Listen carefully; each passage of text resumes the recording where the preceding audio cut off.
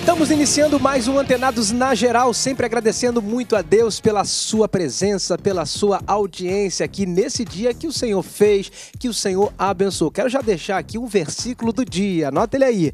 João, 1 João 4, verso 20, diz assim: Se alguém diz, eu amo a Deus, mas odeia o seu irmão, é mentiroso, pois ninguém pode amar a Deus a quem não vê se não ama seu irmão a quem vê. Olha aí o versículo do dia.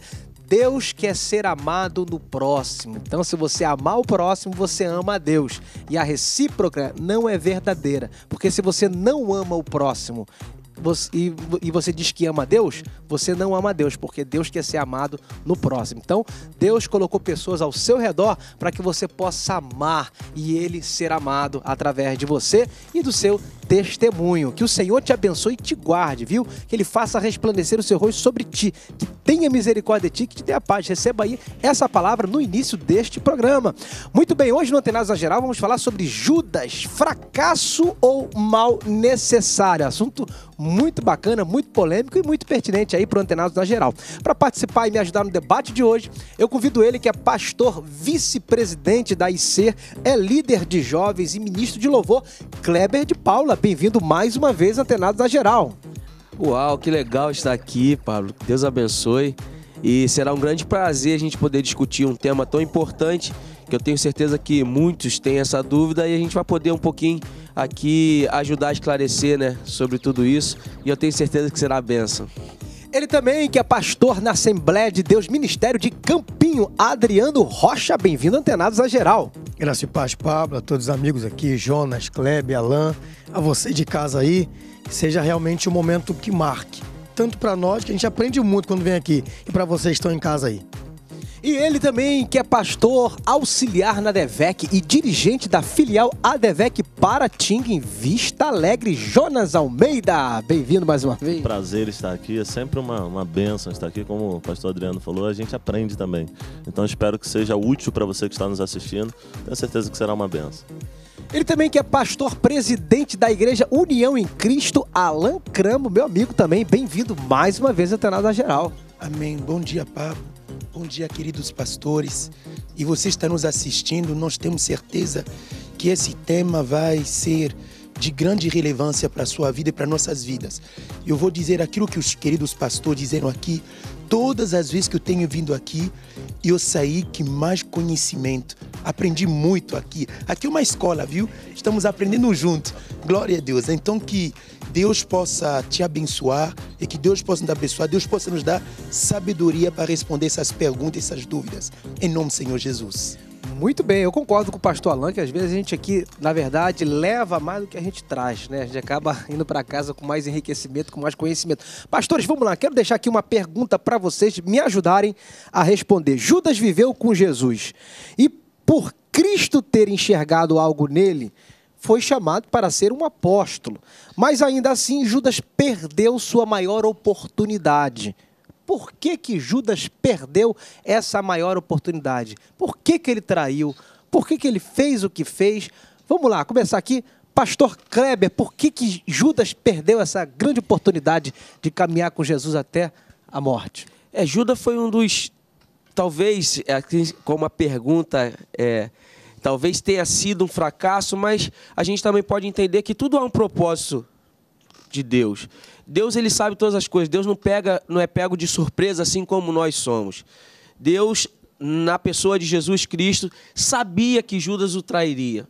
Só que é, eu tenho para mim que o grande problema de Judas não foi a traição de vender Jesus, foi a falta do arrependimento. O que veio ao coração de Judas foi um remorso, aquilo que talvez a gente tem quando comete um pecado, e mas de fato não tem o arrependimento, porque a gente entende que o arrependimento que leva o perdão, não o remorso. O grande problema de Judas foi o remorso que ele teve e não o arrependimento que ele deveria ter.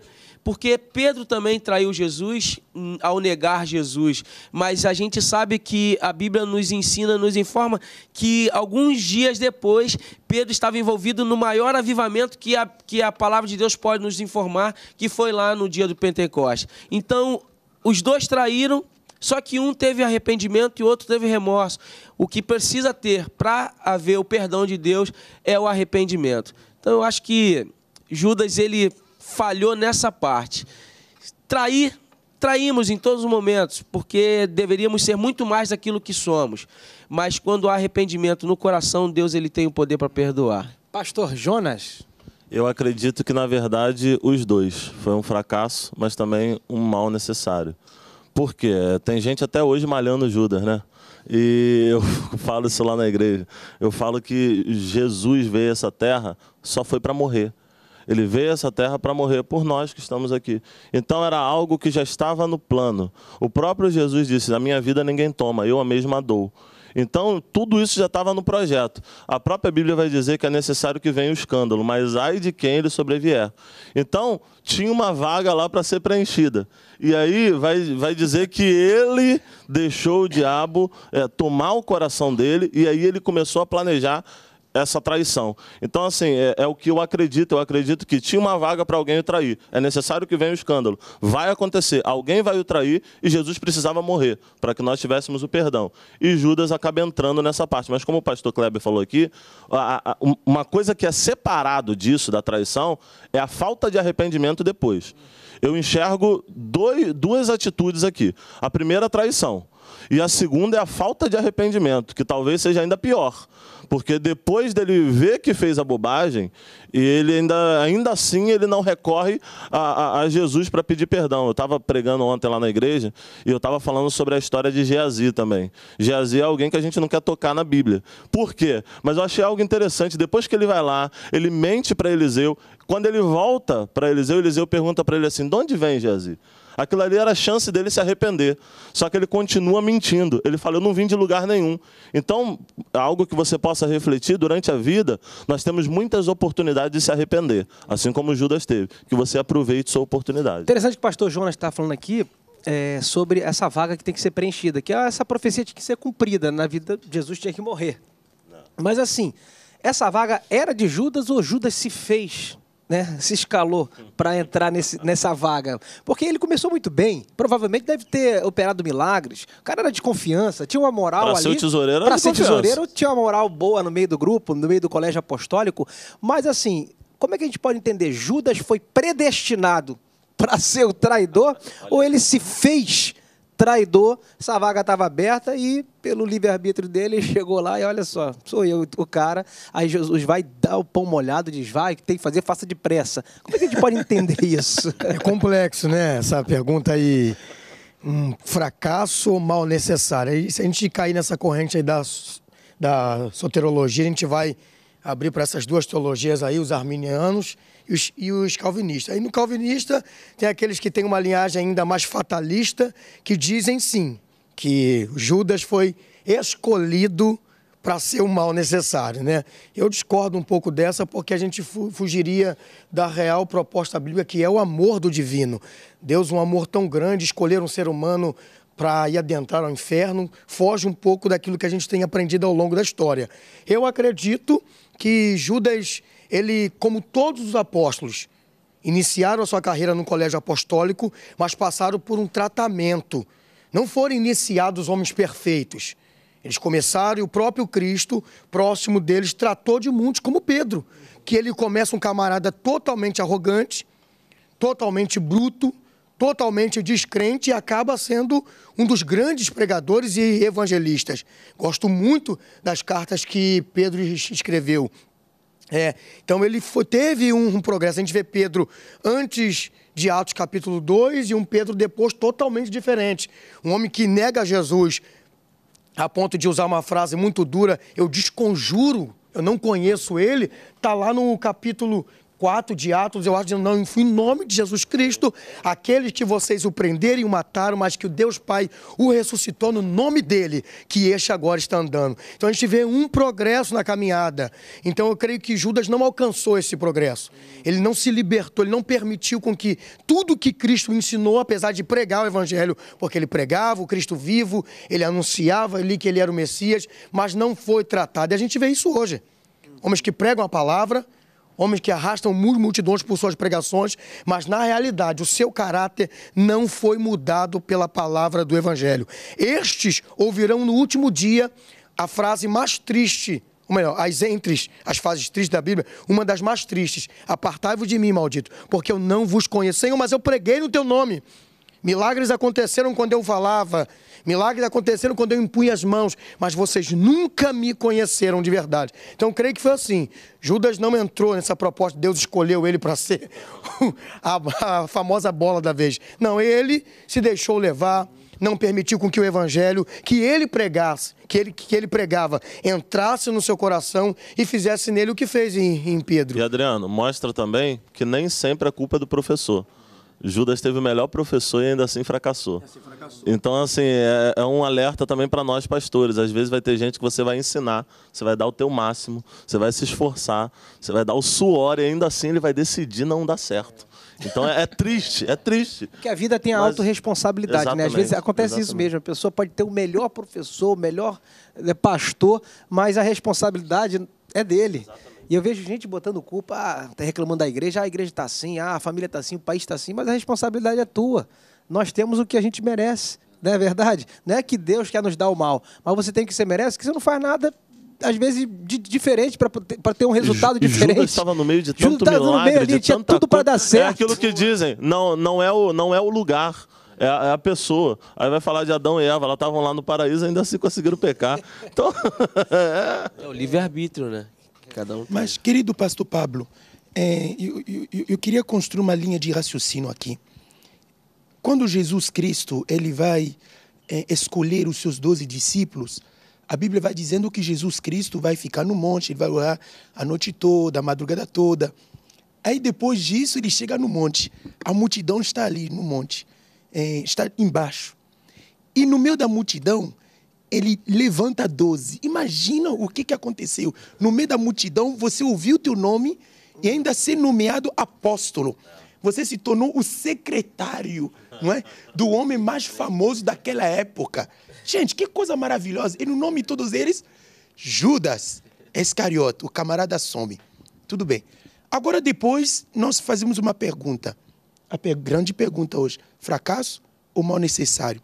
Será que Judas foi apenas objeto de uma manipulação de Deus para chegar a um objetivo, a morte de Cristo Jesus na cruz do Calvário?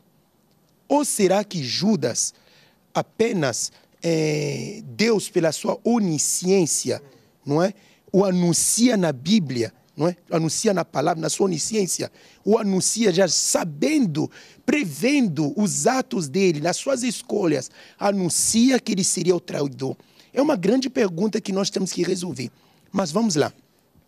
Algo que eu queria apresentar aqui para os irmãos, da forma que eu respondo a esta pergunta.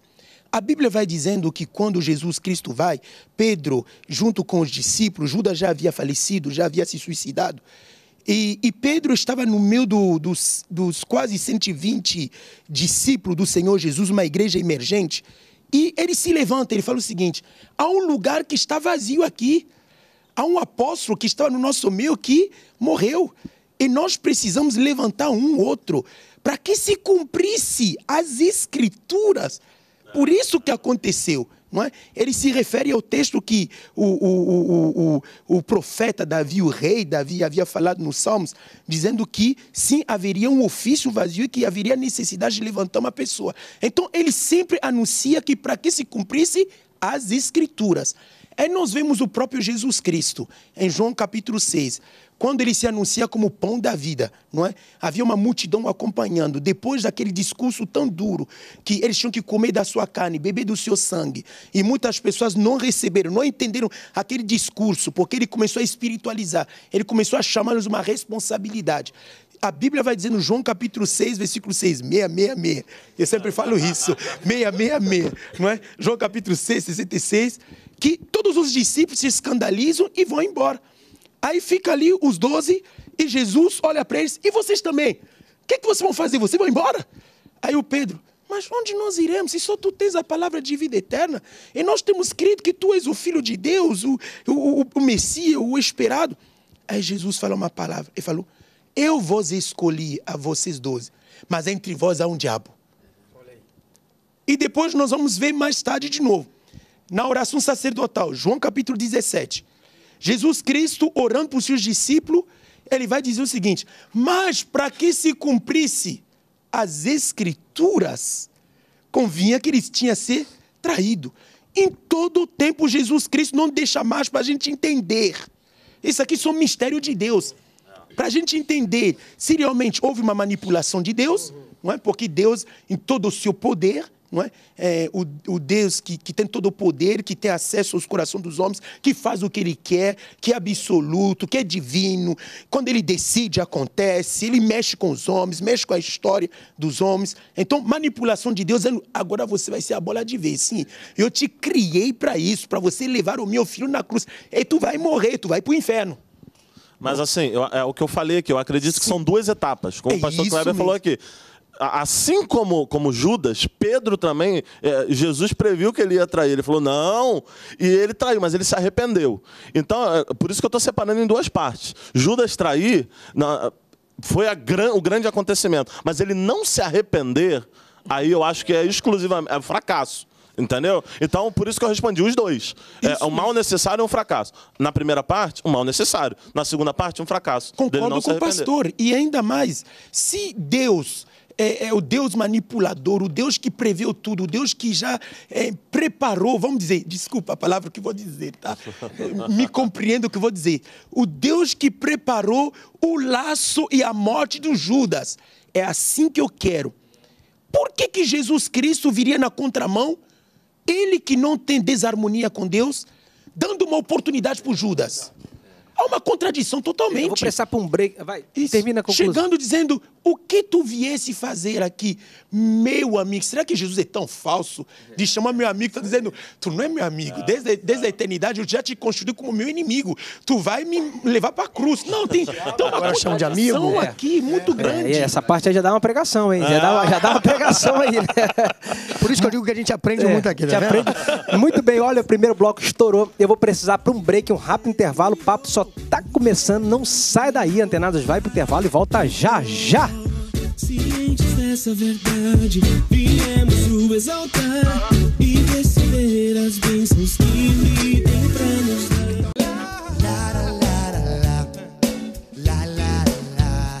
Antenados na geral está de volta aqui para o segundo bloco falando sobre Judas Iscariote. Lembrando que você pode participar do nosso programa. O telefone passa aqui debaixo da sua tela. Você pode ligar para a gente, pode enviar uma mensagem de texto, gravar um vídeo no WhatsApp, enviar perguntas, como a gente tem sempre recebido muitas perguntas do Brasil inteiro, tanto pelo telefone como pelo Facebook. É muito importante. Já agradeço a Deus pela sua presença, pela sua participação.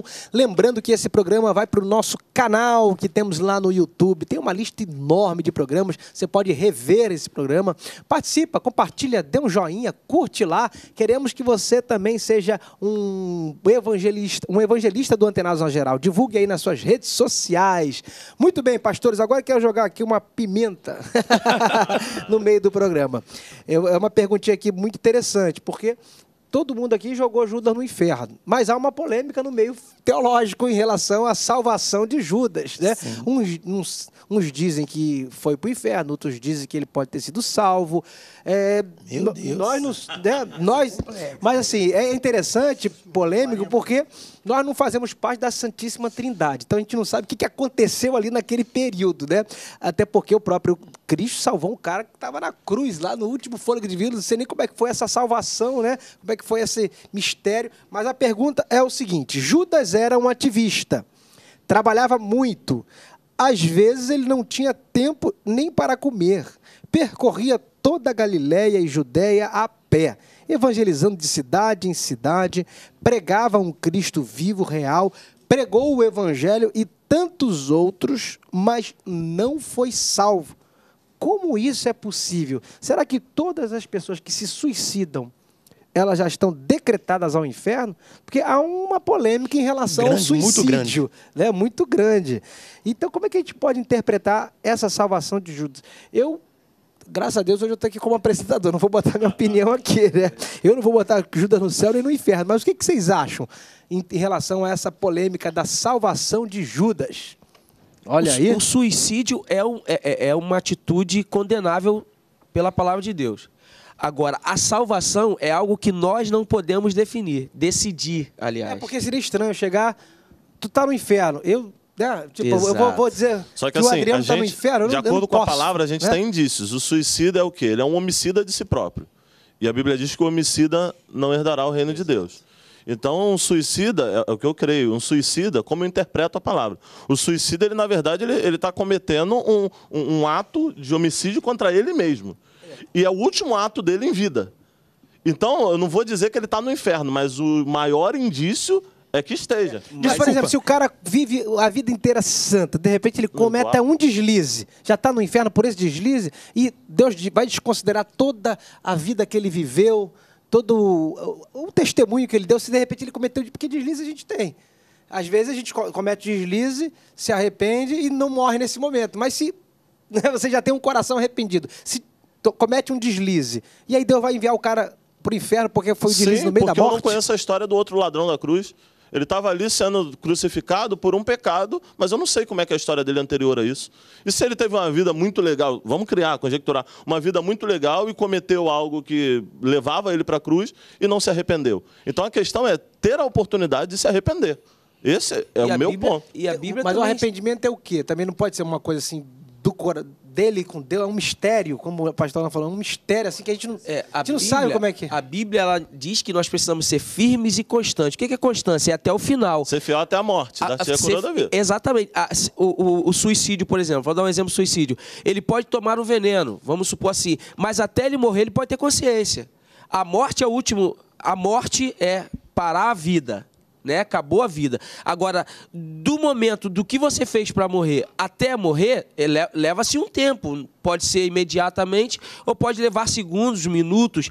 E nesse tempo é onde eu, que eu acredito que decida a salvação desse mistério. Pastor Esse mistério, nós é. estamos, nós estamos tentando entender se Judas foi para o inferno ou não. É isso, não é? É, a pergunta O próprio Jesus Cristo o apresenta como o diabo. Ele não apresenta É, mas como apresenta dele. Pedro também como diabo. pode ser E se arrependeu. Para trás de Se mim, arrependeu. Satanás. Não, não, não. Ele não diz. Pedro. Não, não, É ele não filho da diz que perdição. Pedro era o diabo. Fala, chama ele ele diz que naquele momento ele foi influenciado pelo diabo. Sim, sim. Ele não assim apresentou como. Pedro como Sim, diabo. assim como Mas Judas. Judas, ele diz que ele é o diabo, o filho da perdição. O próprio Jesus chama aquele filho da perdição. E mais uma outra coisa. Quando nós vemos a lei universal. Mas ao é? mesmo tempo ali no Getsemane ele chama de amigo. Mas ele chama uma- o filho da petição de amigo. Tu me traz Não, com amigo, beijo, naquele amigo. momento, o amigo naquele momento é era oportunidade? a oportunidade. A oportunidade que Jesus está dando para ele. O diabo, tem, o, o diabo é pro, pro inferno e não leva Olha aí, tá, tá dando aí, pastor Alain, Tá dando a oportunidade pro diabo se arrepender, cara? Que que é isso? Entregar lá no inferno, Tô falando, esse tema é polêmico. Esse tema a é Bíblia polêmico. diz que ele estava todo o tempo sendo controlado pelo diabo, não é? Mas isso aqui não quer. Eu, eu vou me retratar aqui. Isso aqui não quer dizer que ele é diabo. Quando diz que ele é diabo, significa alguém que é controlado pelo diabo. Naquele momento que ele é controlado pelo diabo, é, na sua consciência, Jesus está dando uma O oportunidade. grande questionamento é esse: se é um momento que ele é controlado pelo diabo, ou se ele é do diabo, é um diabo. predestinado a ser usado. Esse é, esse é o. Se é predestinado, a Esse gente é o já vai. É isso defender aí, aqui é a isso aí. predestinação e já muda toda a história de tudo. É o Naquele momento, Jesus está dando uma oportunidade para dizer: tu pode ainda se arrepender, tu pode ainda voltar para o bom caminho.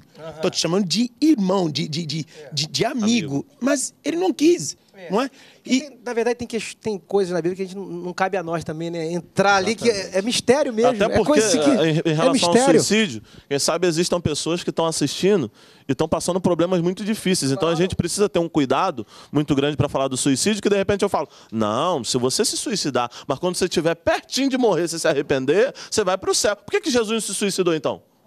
Por que, que ele está falando que entrega a vida, mas ele não fez esse serviço? E o suicídio é um. Ele é- deixou outra pessoa fazer. O suicídio é tão polêmico, por exemplo, se o médico, o cara tem um problema né, de saúde, o médico fala, não coma isso, não coma aquilo. O cara come, ele tá se suicidando. sim, Aí ele sim. não vai botar a culpa em Deus. Sim. Ah, Deus me ma- matou A minha meu... preocupação é a gente incentivar o suicídio aqui. Essa é a minha preocupação. Ó, pastor Pablo, eu- Se você se matar, você vai para o céu. Eu estava escudando um testemunho Sai de um, de um amigo que me contou que ele conheceu um pastor, o pastor dedicado à obra, ele viveu para a obra de Deus. Ele foi para um culto numa, num dia de semana, para um culto de oração. Ele ministrou o culto de oração, fez o, é, toda a, aquela cerimônia para que as pessoas chegassem a Deus, o culto de oração que nós estamos acostumados, e ele chegou em casa, já estava preparado a arma para ele se matar, ele se matou. Então, a gente, a gente precisa ter muito cuidado, isso que o pastor falou, que existem pessoas nesse momento que a gente está falando aqui, foi igual Judas, andou com Jesus, viu os milagres, participou dos milagres, Sim. viveu como um evangelista falando de, do Jesus que, que ia salvar a humanidade, e mesmo assim, por um descuido ou porque ele era predestinado a isso. Ou porque já estava perdido há muito tempo, porque, porque vai dizer que ele roubava. Porque o coração dele já estava que é, é, propenso a isso e ele chega ao, ao, à via de fato que a gente está aqui tentando discutir se ele foi para o inferno ou não. O grande problema é a gente entender as pessoas. Nós, como pastores, temos, um, temos que ter um cuidado muito grande em relação a isso. Nós estávamos conversando aqui antes de entrar no programa sobre a, aquilo que o pastor vive de traição. Mas uma coisa que nós precisamos ter, é entender, é, é ter o pensamento que Jesus teve. Em todo momento ele sabia que Judas era Judas. Judas não enganou Jesus. Judas era Judas desde quando nasceu e Jesus sabia disso. Mas em momento nenhum Jesus deixou de dar oportunidade para Judas. É, é o que mesmo. nós precisamos como pastores, nas nossas igrejas, entender que as pessoas precisam de ajuda, de amigo. Nós precisamos ser amigos das pessoas. Uma das coisas que eu tenho pregado, o pastor Pablo e pastores que aqui estão, é exatamente isso. Tem momentos que eu cheguei na igreja querendo um abraço. Então você imagina quantas pessoas estão querendo, entrando na igreja, precisando de um abraço. E se ninguém me abraçar hoje, eu vou morrer, eu vou me matar. É a história do filme Para Salvar uma Vida. Pastor o menino Pablo. entra na igreja precisando de alguém para conversar e estava todo mundo muito ocupado.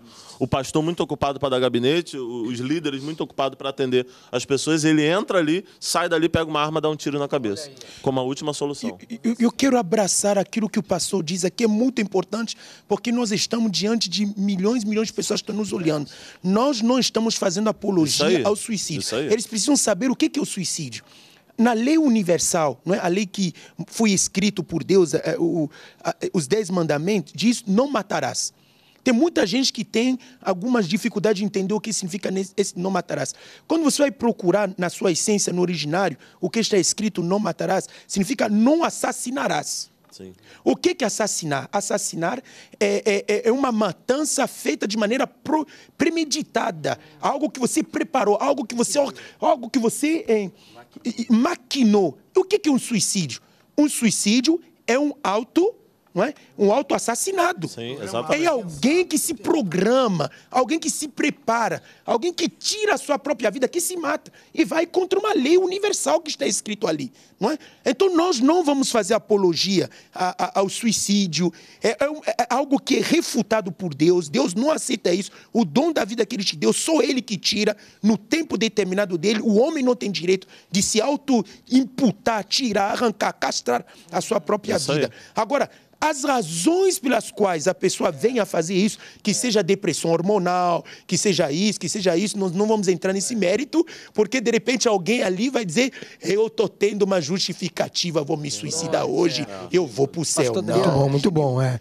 É, então, quanto ao suicídio, eu creio que né, o pacote foi fechado agora e com muita excelência, mas o que me traz preocupação é o que tu leu. O ativismo de Judas. É isso mesmo. Só que existem três homens que se destacam não pelo que fazem para Cristo, mas como se comportam com Cristo. Pedro, Tiago e João. Uhum. A minha preocupação é os amigos de casa, os colegas aí, os meus coerdeiros da labuta do Santo Evangelho, que estão aí se dedicando tanto à obra do Evangelho, mas perdendo a oportunidade de viver com o Evangelho, que é o Cristo que se fez carne. Que eu conheço pregadores que não oram mais como oravam antes. Eu conheço cantores que não buscam mais na palavra como buscavam antes. Isso parece que pelo ativismo, pelo cantar tanto, pelo pregar tanto, que eles estão em comunhão com Deus. Mas o seu coração está secando dia após dia. E a chegar o momento de vender Jesus por 30 moedas, não está tão distante. Esse perigo é eminente. Haja vista que há pregadores que se venderam por dinheiro Pregam, pegam hoje. a Bíblia só para fazer mensagem. Pregam hoje. coisa que Judas. Isso, pregam hoje o que os pastores induzem a pregar, o que a igreja, o que a massa quer ouvir. Estão tão distantes de Jesus que não conseguem ouvir a voz dele dizendo: Meu filho, a mensagem de hoje para minha noiva é essa, mas eles estão tão atrelados às 30 moedas de prata que perderam. Então a minha preocupação é essa, gente. Você pode correr o mesmo risco, você corre o mesmo risco que Judas e ir para o mesmo caminho que ele se deixando distanciar da pessoa de Cristo. Que a obra de Jesus não te afaste dele. Então, continue em comunhão, continue na consagração, continue na leitura da palavra para o teu crescimento. Porque eu, como pregador itinerante, eu já cheguei a- ao lamaçal de, de ler a Bíblia só para pregar. Gente, isso é horrível. Até que o Cristo Jesus me despertou dizendo: Eu não quero que você leia a Bíblia só para pregar, eu quero que você leia a Bíblia para aprender de mim, cara. Porque o que vai te levar a ser um bom pregador não é o que você sabe da palavra, mas é o quanto você vive dela. Então, meus amigos de casa, pastores, aproveitando o dia de ontem, se dedique à comunhão com Cristo, porque isso vai te dar a ferramenta necessária para continuar fazendo a obra dele. O interessante é que existem algumas linhas teológicas, assim, a gente não pode jogar a motivação de Judas, mas parece que havia uma expectativa no, no coração de Judas de que ele estava esperando o Messias. Só que o Messias que Judas estava esperando era, parece que um temporal, um Messias temporal. Quando ele descobriu que Jesus não era o Messias quem ele esperava que fosse, Sim. Aí ele, ah, então peraí, esse aí não, esse, esse não é o libertador que eu estou esperando, né? Aí quando ele descobriu que ele, ele não era um, um libertador temporal, mas era um, um libertador de um reino espiritual, aí ele foi e parece que ele estava ali com interesse. Alguns teólogos afirmam que ele estava ali com interesse. Será que a gente pode eh, definir Judas como um interesseiro que estava ali moralmente ali em busca de, um sonho de ser o secretário da, do, do imperador, do futuro rei, Do- da- do revolucionário que quer tomar tudo de da- novo. Pastor Pablo, essa pergunta é muito importante, porque na verdade todos eles estavam ali com interesse, não era apenas Judas, não é? Quando se chegam na, Estavam na última descobrindo ainda tudo, e estão né? descobrindo, não é? É, Quando chega a última ceia, a Bíblia diz que os irmãos Zebedeus, né? Eles perguntam: Jesus, quem vai sentar à tua direita? Quem vai sentar à tua esquerda? Em outras palavras, quando você herdar o reino davídico, não é? Quando você se assentar, você governar sobre Israel. E aí, quem vai ficar à tua direita, à tua esquerda? Todos eles estavam ali com interesses, homens que eram pescadores, que estavam em, em vilarejos, que foram tirados de nada, não é? Que de repente se tornaram figuras conhecidas. Era a chance da vida Isso, deles. Era a chance da vida deles, todos eles, não é? Então, eh, eu creio que esse argumento é um pouquinho frágil para nós definirmos o, o- o Judas, não é? Mas eu volto de novo naquilo que os pastores disseram aqui. Ele teve a oportunidade do arrependimento. Sim. E ele não quis se arrepender. Desculpa, E a- se a, gente a- vira, vira, a gente volta. estourou, estourou, eu vou falar também no próximo bloco sobre arrependimento, que tem uma perguntinha aqui que é muito interessante. Você que está assistindo, gostando, amando o programa de hoje, te indico a não sair daí. Pega só um café, um bolo e volta pra cá, que tem muito papo pela frente. Inter- Vamos pro intervalo, Antenados volta já já. Não há mais choro.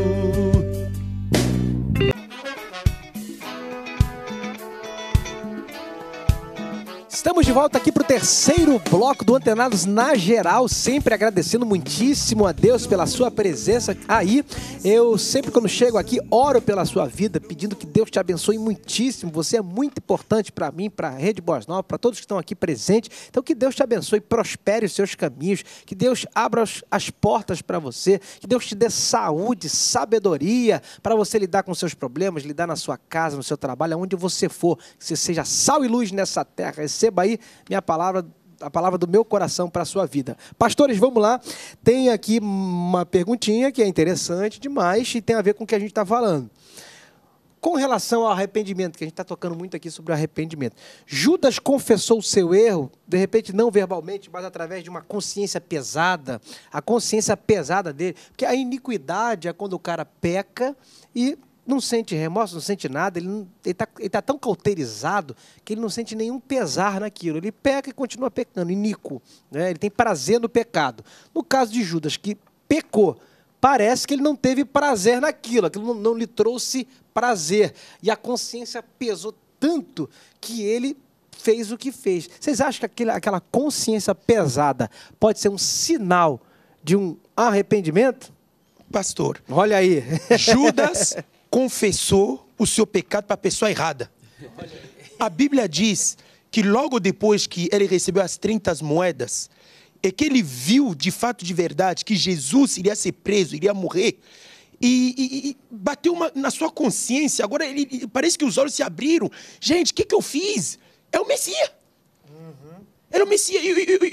Caiu a ficha, né? Caiu a ficha, parece que caiu a ficha. É como se eu vou usar aqui uma coisa, eu vou usar, eu vou usar aqui algo que eu espero que os telespectadores vão me entender. A Bíblia diz que em todo o tempo Judas está sobre o efeito da ação do diabo.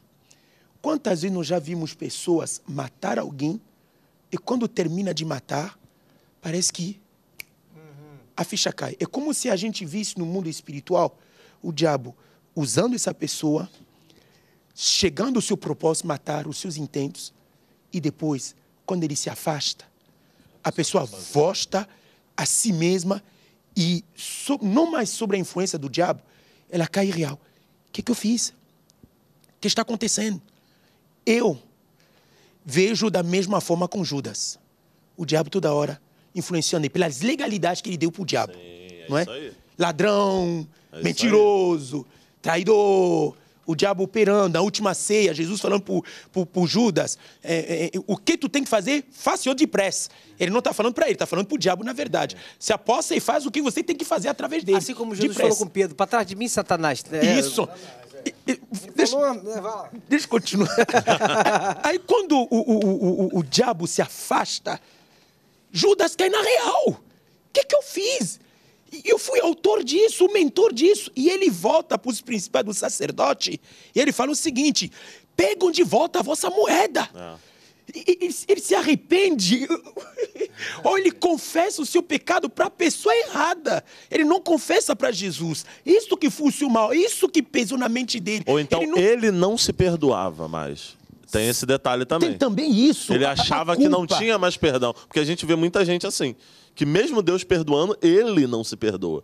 Então ele preferiu escolher a morte, ele se puniu. Se- de repente que se ele Ele tivesse pre- tido face a face com Jesus Cristo, como Pedro teve a Sim, oportunidade, sim, em sim. João capítulo 21, quando Jesus Cristo vem, tu me amas, tu me amas, tu me amas, as três vezes que ele chora, ele foi liberto de uma culpa ali. Mas Jesus veio para libertar Aquilo de uma foi um culpa. tratamento. Foi um tratamento para ele. Judas não teve essa oportunidade de estar face a face com Jesus, quem sabe, para ele poder ser liberto dessa culpa, falando face a face com Deus, o Messias, o perdoador. Ele foi confessar para a pessoa errada. Então ele morreu com essa culpa, essa culpa dentro dele que levou para o suicídio. Então, e- e- sim, Na realidade, ele andava com Jesus, mas ele ainda não sabia quem era Jesus de fato. com certeza. Porque às vezes a gente olha, a gente nos julga pelo nosso eh, modo de, age- de, de pensar. Porque Jesus não olha com a gen- como a gente olha. Jesus não olha com olhar de, ju- de julgamento, mas sim de absolvição. Judas, naquele momento, andou com Jesus, talvez seja por causa disso que a gente falou. Ele talvez acostumou a andar com Jesus. Esperava um, um Jesus tão que viesse numa carruagem de ouro, um negócio louco, e chega, chega um homem simples, falando de forma simples. É, é, talvez isso tenha afastado muita gente de Jesus, porque imagina um Jesus extraordinário, de- assim, extraordinário que eu digo, formato extraordinário, mas Jesus é simples. Eu li, eu, li, um- eu, li quer- eu li um livro que fala sobre isso, o perigo da intimidade. Por estar muito perto, ele começou. Pô, esse cara é um cara normal. É, é comum. Olha as fraquezas dele. Lealdade e deslealdade, o nome do livro. É um, é um africano, Dag Mills. Ele, é bem interessante esse livro. Ele vai falando assim: Poxa, esse cara tá falando de morte, esse cara tá depressivo. Talvez tenha sido a avaliação de Judas em relação a Jesus. Ele tá muito fraco para ser o Messias. Ele tá dizendo que vão pegar ele, que vão matar ele. Começaram a olhar e ver Jesus muito depressivo, entre aspas, e falar: Isso não pode ser o Messias. normal, né? Muito normal. pô, Eu quero falar um pode. pouquinho agora sobre a extensão do amor de Deus, porque pode ser que alguém agora deve ter cometido alguma falha e que de repente ela está sofrendo com essa culpa dentro dela e ela não sabe como lidar com ela. E a extensão do amor de Deus eu acho que é muito importante. Isso, As é. oportunidades que Deus dá ao homem, você vê que deu para Judas. Se tu me traz com um beijo, amigo, dando oportunidade, até no próprio texto fala sobre Malco, não é, pastor Lan? Até Sim, pastor Lan que ele, Malco ali, ele, ele tinha uma responsabilidade, né, ali no, ele tinha um sonho, ele tinha um- um sonho no coração e o corpo dele tinha que ser perfeito, entre aspas, não podia ter falhas.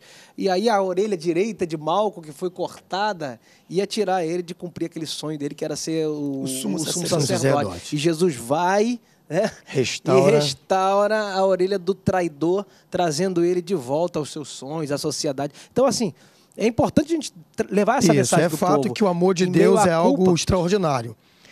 A Bíblia mesmo afirma que o nosso Senhor diz que aquele que vem a mim, de maneira nenhuma, eu lançarei fora. Esse vem a mim é dotado de arrependimento. Pastor Alan falou uma coisa há que eu tô aqui, pro perdão eu tô aqui me segurando para não dar lugar. Porque Vai marchar aqui, realmente, varão? Judas confessou o seu pecado para a pessoa errada. Se ele, se ele corre Isso e diz, Senhor, mensagem. eu te vendi, mas eu não esperava que eles fossem te matar. Porque, na realidade, a princípio, todos não tinham conhecimento pleno de Cristo. Todos achavam que ele seria o Messias, numa linhagem de uma visão davídica, um rei que tomaria de volta o povo da mão do Império Romano. Todos só chegaram à compreensão do divino, do Messias que veio de teor espiritual após a ressurreição e a apresentação de Cristo no seu corpo, glori- no seu corpo glorificado. Então, até então, todos tinham a mesma enquete: será que é, é ou não é? Então, se Judas vem a Cristo, eu te vendi, fiz uma besteira, mas não é isso que eu desejaria. O Senhor falaria com ele. E o falar de Cristo, ô glória, a um coração de um pobre pecador, transforma. Essa culpa que levou Judas ao martírio da própria vida, ela seria dissipada, porque a voz do Senhor Jesus restaura a alma. Já vista que Pedro, após o falar de Jesus, então vai, cara. Ele talvez esperaria, ele vai me esculachar aqui no linguajar popular. Então vai, Pedro. Apacenta minhas ovelhas, ou seja, vai e continua o que eu te chamei. A alma de Pedro foi liberta de tal maneira que o cara vira um pregador que converte 3 mil pessoas. Então, Jesus, de maneira nenhuma, você que está nos ouvindo, importa o que você cometeu, indo ao Senhor com sinceridade e um coração de fato arrependido, jamais te lançará fora. Ontem eu tive uma experiência. Ao lado da minha casa, uma jovem brigou com seu esposo e tomou veneno. Tentou cortar os pulsos, não conseguiu, tomou veneno e começou a gritar. E me chamaram, Pastor Adriano, vem aqui, a fulana de tal, não vou dizer o nome por questão de ética. É, a fulana tomou veneno, mas ela estava gritando e eu vi ela gritando: me leva para o médico, não é isso que eu quero. Foi para o hospital, conseguiram pela, pela agilidade, pelo hospital bem próximo à nossa casa, tomou os medicamentos necessários e tá lá, tá, tá bem. Eu creio que no momento que talvez ela tomou, caiu o choque, porque é o que o pastor Alan disse, o gabiroto saiu fora. Induziu ela a tirar a própria vida e depois que ela ingeriu o veneno agora, eu me recuo e vou assistir a cena que criei. Mas graças a Deus, mistério- ela foi na minha igreja, aos dias atrás, ouviu a palavra, confessou Jesus, e eu creio que naquele momento o grande Senhor disse: há uma oportunidade para você, fulana. E ela gritou e Deus deu a oportunidade. Pecou, corre para os braços do Senhor. Será que não- ele... ele- jamais te lançará fora. Ele amou. Será que isso não pode ter acontecido com Judas também? Tipo, caiu essa ficha nesse momento. Por isso que a gente tá falando aqui sobre salvação de Judas. Será que ca- quando caiu Só a que, ficha, só que ele, ele, não queria a recorre, morte? Só que ele não mas, recorre a Jesus. A pessoa Então, certa. Parece é. que esse remorso dele está embrulhado no orgulho. Mas até então, Porque ele tem tá- gente que prefere a morte do que a. É, a- Mas pensa comigo, é, naquele momento ele não sabia que Jesus era o Messias. Eu acho que ele, a tristeza dele foi em fazer mal ao homem bom. Sim. Até quando o Jesus morre, os próprios discípulos achavam, pô, acabou a história. Será que ele era o Messias mesmo? Havia dúvida também no coração de todos. Sim. Quando Jesus morre e não ressuscita. Isso, mas até esse, esse arrependimento O para caminho com de o homem Emaús, bom, né, quando discípulos- levaria ele ao Messias de fato, quanto Jesus era. É por isso que eu tô e falando que eu chegando a Jesus, a palavra se liberada. Porque existem pessoas que são muito rígidas com os outros. Então, quando ele erra, ele mesmo não se perdoa. Então, todo mundo pode perdoar ele, mas não interessa. Ele não se perdoa. Então, é por isso que eu, eu acredito que Judas, esse remorso dele estava embrulhado também em, em um egoísmo, eu não sei, em, em- Um orgulho. Um orgulho. Porque ele.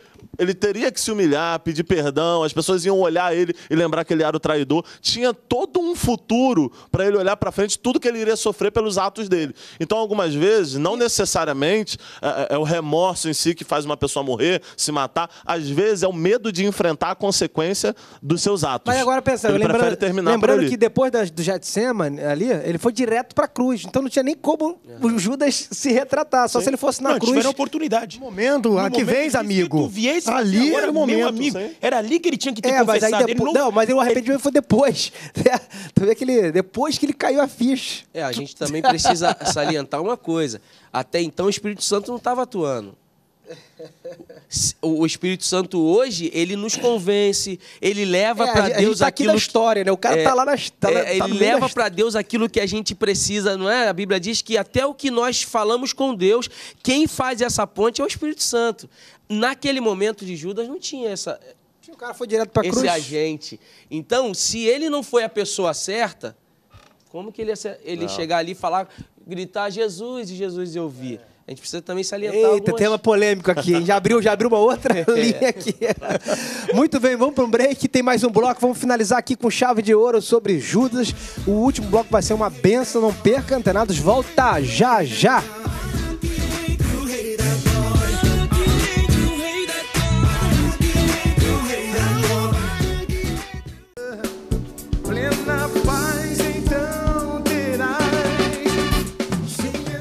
Quarto e último bloco do Antenados na geral, falando sobre Judas Iscariote, o traidor. Será que ele foi salvo? Será que ele não foi salvo? Esse é o papo aqui de hoje.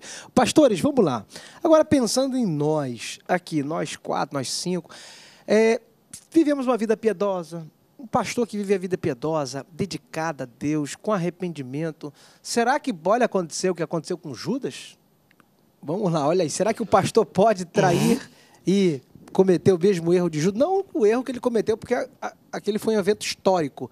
Mas essa traição de Jesus e o cara cometer esse suicídio. Será que um pastor piedoso, amoroso, fiel, pode trair Jesus dessa forma? Suicídio ou não? espiritual, muita gente já cometeu.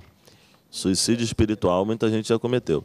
Porque o que, o que pregava, e infelizmente a forma que vive hoje, Consciente. pessoas que davam testemunho de libertação da homossexualidade. E hoje falam, não, não é bem assim. Calma aí. E os DVDs que vendeu? E as pessoas, e as pessoas que compraram acreditando naquele, naquele. E as pessoas que deram crédito àquilo. As pessoas que receberam Jesus através daquela mensagem. Todo mundo. Gente dizendo que era ex-mendigo, que não sei o que, contando história, e agora vem com a maior cara de pau dizer: ah, não, foi tudo mentira. Aí é aquele negócio. Os dois lados, o cara se arrependeu. Só que ele agora tem que enfrentar as pessoas apontando. Gente, cantor que eu admirava muito, até hoje admiro pela música. O cara falava que tinha síndrome de Down e foi curado. Aí depois veio e confessou dizendo: é ou não é? Era tudo mentira. Se arrependeu. Ele, ele se arrependeu, só que ele leva um peso das pessoas não acreditarem na palavra dele. E agora? Porque ele fez uma vez e as pessoas têm esse receio dele estar fazendo de novo. É complicado, cara. O nascido de novo pode desnascer? É, A Bíblia diz que Pode tem que ser- apostatar. É, a Bíblia diz que tem que ser fiel até a morte. Fiel até a morte não é no estalar de dedos, é um caminho. Então, se durante esse caminho você perder essa fidelidade, sim, pode acontecer. Agora a pergunta foi: um pastor fiel pode? Não.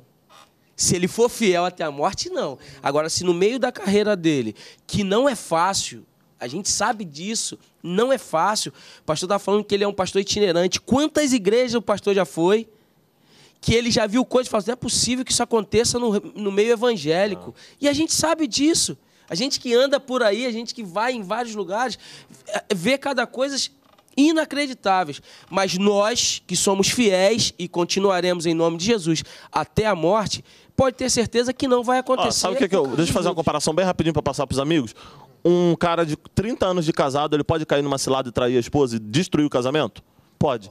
Uma pessoa com 30 anos de trajetória ministerial, em algum momento pode fazer uma bobagem e destruir sua vida. Fidelidade. Eu, eu- queria mostrar uma coisa. Com certeza Judas deve ter começado bem. Eu estava falando com o pastor aqui no off.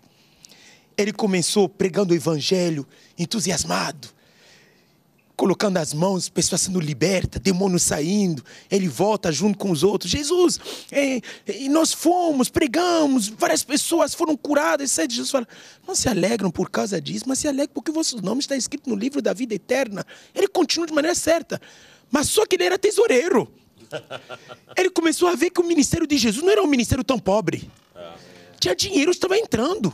Muito dinheiro. Não poder servir a dois senhores. Ele, ele se perdeu para outro senhor. Sim, e ainda mais, Jesus Cristo mais tarde vai dizer para eles, publicamente, ele sabe disso, que ele vai morrer. Ele vai embora. Então significa aquele que me rendia dinheiro e eu sou tesoureiro, eu estou ganhando dinheiro, estou pegando dinheiro fora, agora ele vai morrer. Então o que eu vou fazer? Melhor vendê-lo. vou ganhar mais dinheiro.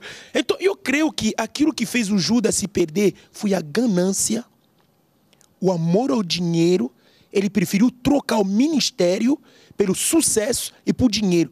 Ele se suicidou por causa disso. E eu vou abraçar o que o pastor está dizendo. Tem muitos pastores, pregadores que estão se suicidando.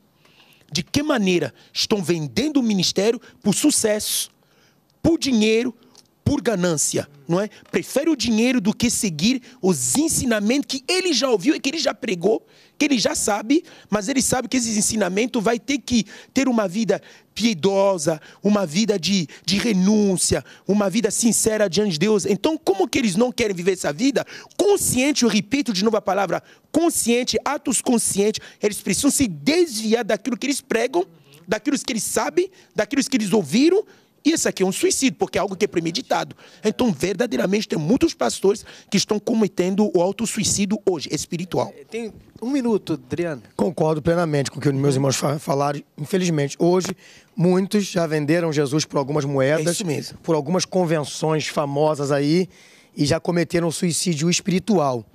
E a preocupação é que pode levar ao literal. Né? Uma depressão tão grande que o cara tira a própria vida, igual o Kleber falou sobre um pastor que ministrou um culto em casa, se assassinou. Então a preocupação é essa: cuidado. Cuidado, ele é muito melhor do que qualquer coisa que você pode alcançar aqui. Então, cuide do seu relacionamento com ele. Não se venda, não. Vale a pena ser fiel ao Senhor e até o fim, porque é uma coroa da vida. E a minha maior alegria em saber que é algo reservado para mim é saber que eu me encontrarei com ele e ter o privilégio que Judas Maravilha. teve, mas abriu mão. Obrigado, pastores, pela presença de vocês. O papo foi uma bênção. Tenho certeza que você também foi muito abençoado. Deus abençoe seu coração, sua vida. Obrigado, Brasil. E um beijo grande. Até a próxima. Olhou pra trás e ficou pra trás. Quem provou do amor de Deus e da unção do seu espírito e bebeu água da vida e saciou a sua sede de eternidade. Não poderá olhar pra trás jamais, jamais. Quem foi salvo como eu, que estava